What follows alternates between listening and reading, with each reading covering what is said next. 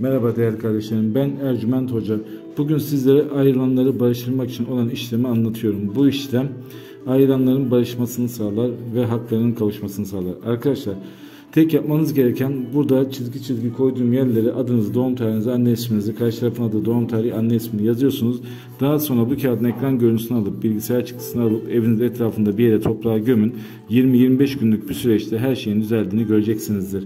Ve Ercüment Hocam Instagram kanalından bizlere yazan herkese ücretsiz yıldızlama bakımı yapıyoruz. Bunu yaptırmak isterseniz tek şartımız bizi takip etmeniz. Bekliyorum.